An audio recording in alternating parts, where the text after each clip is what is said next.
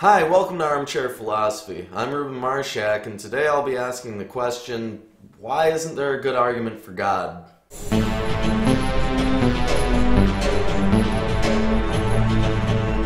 You're an atheist, and a Christian stands ready to debate you about the existence of his or her God. What do you think they might say? It could be the watchmaker argument, or the ontological argument, or maybe even some Aquinas. Whatever's coming your way, you've probably heard it all before. You're a good atheist, and you've read all the Dawkins and Hitchens, so nothing really new is coming your way. You've seen every debate with VenomFangX and the Vigilant Christian. Nothing's going to surprise you. In fact, there have been so few worthwhile attempts to actually rationally explain the existence of God that most of them can be covered in a freshman philosophy course in a single lecture. Or, as one of my teachers put it, if you're looking for a proof of God, sorry, it hasn't happened yet. But just because it hasn't been done doesn't mean it can't be done. There are valid and sound arguments made for ridiculous things in academic journals all the time. So why hasn't it been done? Well, I might have an answer for that. For a good portion of our history, religious and educational institutions were deeply intertwined. In fact, some of the most famous universities today originated as Christian monasteries, Oxford and Cambridge in particular with Cambridge still having Jesus College today. Employment opportunities for non Christians and atheists in particular were very limited by the religiosity of these institutions of higher education. The Scottish philosopher David Hume, for example, never really could find steady employment teaching, even though he was a great philosopher, just because he was non Christian. Hume would not admit to being an atheist, though. In fact, being an atheist was a dangerous view to have for a lot of recorded history. Many nations wouldn't admit atheism at all, and some great thinkers like Socrates were actually put to death for atheism, although Socrates actually wasn't an atheist. This resulted in a kind of echo chamber in academic institutions which can still be found in religious schools all over the world today. Simply put, whether it was from fear of death, unemployment, or social ostracization, even the most hardcore atheists throughout history weren't really encouraged to say anything about their point of view. This is very good for state religions like Judaism, Christianity, and Islam because it allowed themselves to be presented as a kind of social elite. With higher education under church control, the more educated people would likely be religious and the people who stood against the state religion would likely be the uneducated plebeians. But education's changing, and it has been for some time.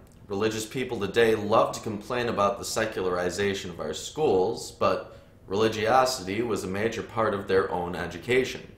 Today, even many Catholic universities will hire Buddhist or atheist professors, and the religious tenets of Christianity aren't usually a requirement of students to learn in their required classes.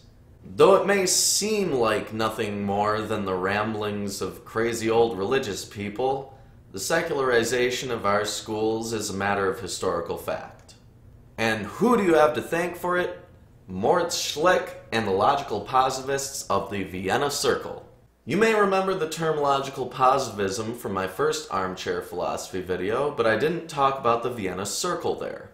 The Vienna Circle was composed of a great number of philosophers and scientists trying to synthesize the fields. They didn't want to make philosophy and science one thing. Philosophy was seen as a valid means of explaining and understanding information gained from empirical sources. Rather, their goal was to make the fields of science, philosophy, and mathematics congruent with each other. They had many big name members such as Albert Einstein and Bertrand Russell, and from their many meetings and publications, we got things like logical positivism.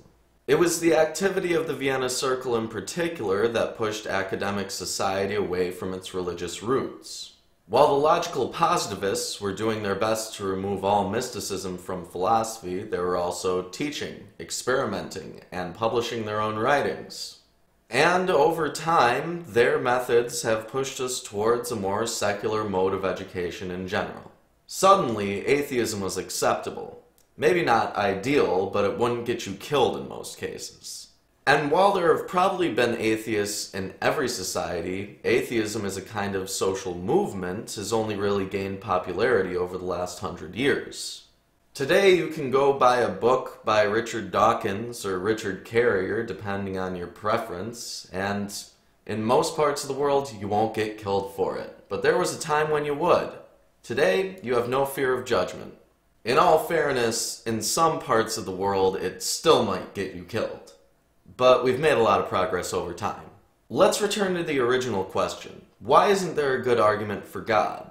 It seems that, for the most part, theistic argument in academic institutions have missed their chance. While religious institutions dominated the academic world, there was very little chance for ideological dialogue. The main opponents of Christian academic institutions would probably be other Abrahamic religions, such as Islam, and they have no interest in disproving God. The only other ones were a rapidly disappearing population of pagans. With practically no one pointing out the flaws in their arguments, and counter-arguments being limited by simplistic technology or by religious influence, Judeo-Christian theological philosophy really just stagnated. As philosophers like Friedrich Nietzsche boldly declared that God is dead, just as Christians had done to pagan gods centuries before, institutions like the Vienna Circle were gaining in popularity, well, the Christian philosophers just argued the same points over and over again.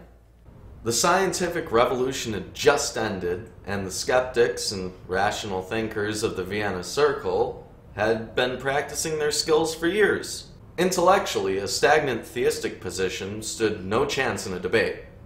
But as academic secularism increases in popularity, as it has done since the Vienna Circle, we might be falling into the same trap that the Christians fell into. In many science departments today, you might even be laughed at for holding any religious views. If the echo chamber effect was the original reason why there isn't a good argument for God, then shouldn't we be concerned about the new echo chambers that we're creating today? In modern academic settings, the Christian is usually discouraged from formulating arguments in favor of their faith at all. And among academics, making religious statements of any kind could be considered a really bad career move. In essence, the academic Christian today finds themselves in a similar situation to what the atheists were going through in the Middle Ages, without, of course, the threat of death. It may be the case that rational theism is impossible now within our current academic setting. We should take care not to copy their mistakes ourselves and become stagnant. YouTube has served as a podium for religious debate for many years. In modern times, anyone with an internet connection and a camera can make their case, rational or otherwise. This has shed some light on the limitations of religious institutions and their defenses for God. In almost every case, Christians fail to convince atheists online due to their simplistic or outdated arguments. Presuppositionalism and arguments from Scripture are even becoming common debate tactics for Christians. And in some cases, science is literally denied in order to make a religion seem better. Even though I don't believe in evolution, therefore Christianity is true, isn't a valid statement. In other cases, such as in modern Islamic apologetics, appeals to emotion and other logical fallacies are extremely common. In fact, in terms of religious philosophy, modern Islam might be the most lacking due to their cultural rejection of anything irreligious. Now that academic institutions are becoming more secular, websites like YouTube or Blog Talk Radio might be the best means of developing the philosophy of religion.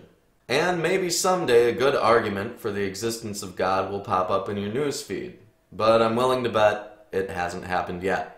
That's all for this time on Armchair Philosophy. I hope you enjoyed this video. If you did, like, comment, subscribe, donate to us on Patreon, buy our t-shirts, worship us, etc., etc.